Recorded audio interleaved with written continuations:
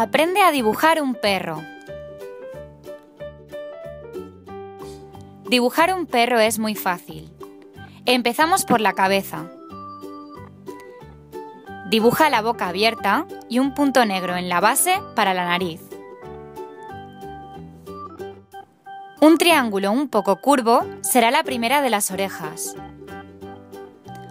Un triángulo mucho más pequeño será la otra. Una gran curva hacia abajo para que el perro esté sobre sus patas traseras.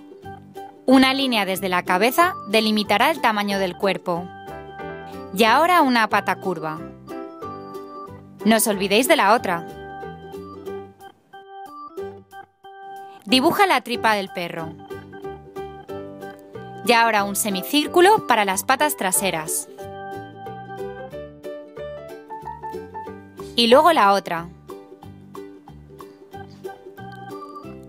Y ahora la cola.